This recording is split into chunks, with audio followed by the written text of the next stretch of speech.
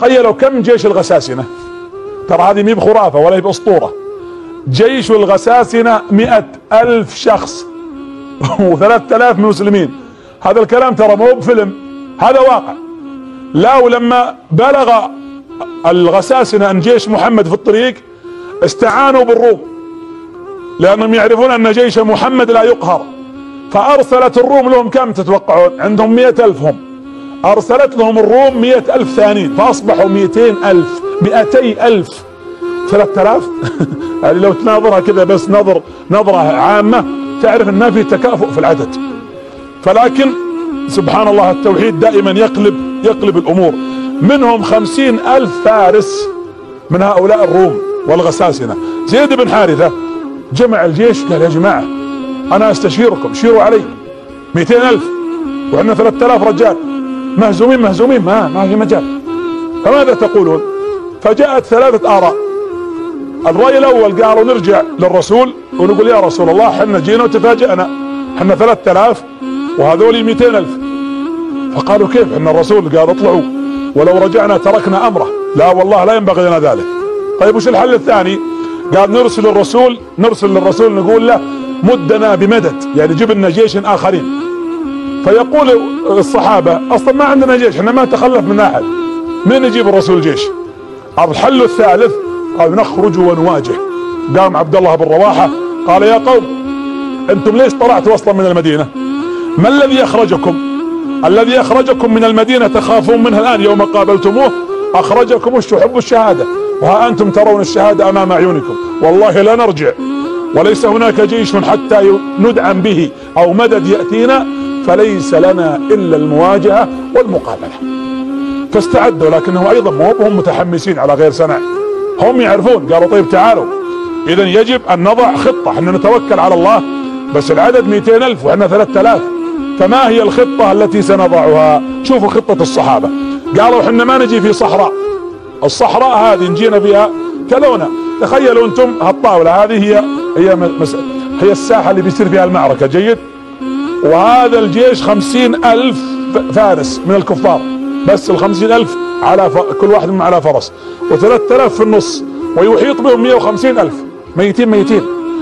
فقال الصحابة عندنا لكم رأي نتشاور به. قالوا وما ذلك الرأي؟ قالوا لا نواجههم مواجهة لكننا نحاول أن نضع خطة نحصرهم في قرية بينها أشجار على اليمين وأشجار على اليسار وورانا سكان أو بيوت. يعني تكون محاطة من ثلاث جهات. ونأتيهم في مكان ضيق حتى يدخل علينا الجيش يعني يدخلونهم على قولتهم زرافات ما يدخلون مع بعض. ثم إذا دخلوا وأحطنا بهذا المكان يصبحون يدخلون علينا متقطعين. كان عدد الكفار صافين كذا الطول. فلما شافوا المسلمين في هالمكان الصغير بدأوا يصففونهم ورا بعض زي صفوف الصلاة. وسبحان الله كأن الله كتبها ثلاثة آلاف ثلاثة آلاف ثلاثة آلاف ثلاثة آلاف حتى النهاية. يعني اللي ورا ما عاد لهم أي سنة ما عاد لهم قيمة. وهم ورا لأن اللي يتقدمون ويقاتلون ويدخلون في الكر والفر هم اللي الذين في الصفوف الأمامية. طبعا زيد رضي الله عنه يريد تعطيل الجيش. وبالفعل هو جالس الآن يعطلهم. بدأت المعركة. يا جماعة المعركة كم ساعة؟ كم توقعون؟ ستة أيام. تدرون كم مات من المسلمين؟ بسبب بعد الله الخطة 12 واحد بس. واللي قتل من هؤلاء الرومان والغساسنة أكثر من 500 شخص. وكيف الله سبحانه وتعالى قلب الأمور كما يريد رب العالمين سبحانه وتعالى. رفع الراية زيد قال الكفار منهم رجل دخل عليهم يقال له آه رافلة بن مالك. قال هذول بيهزمونا. وش رأيكم نغير الخطة؟ قالوا وشو؟ قالوا شفتوا ذاك اللي رافع الراية؟ اذهبوا إليه فاقتلوه يعني توجهوا عليه حتى تقتلونه. كان عبد الله زيد رضي الله عنه هو الذي يمسك الراية. زيد ماسك الراية فهجموا على زيد رضي الله عنه وأرضاه وطاشت عليه الرماح وسقط رضي الله عنه وأرضاه ومات. واستشهد رضي الله عنه وأرضاه. ثم النبي صلى الله عليه وسلم يا جماعة ترى الموضوع مو بسهل. وبعد ذلك تقدم جعفر بن أبي طالب لأن النبي عليه الصلاة والسلام قال إن قتل فيتقدم جعفر بن أبي طالب.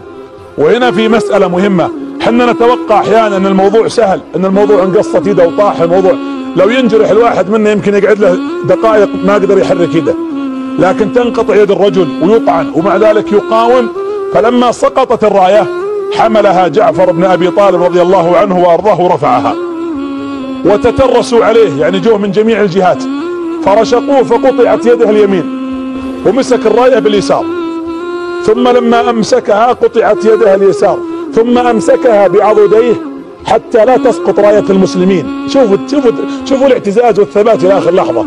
فسقط يقول عمر والله قد أتيناه ما رأينا فيه طعنة في بطنه. كله حريص على أن الراية ما تطيح. كانت الطعنات كلها في ظهره رضي الله عنه وأرضاه. النبي هنا توصله الاخبار من رب السماء. جالس جمع الناس في المسجد. قال يا معشر المسلمين إن جيشا أراهم الآن يقودهم زيد استشهد زيد وإني لأرى مكانه الآن في الجنة. الرسول في المدينة وجالس يشرح للناس. وإن الراية حملها جعفر وإنه قد قطعت يده اليمنى. فأمسك الراية باليسرى ثم طعن في بطنه وإنه استشهد الآن وإني أراه وقد ابدله الله بجناحين من ياقوت في الجنة. جالس الرسول يذكر الرسول. طبعا الموضوع مو بسهل. هذول أحباب الرسول زيد تربى في بيت الرسول. هذول احبابه مقتولين. وجعفر جعفر جعفر عاش معه النبي صلى الله عليه وسلم في بيت أبو طالب.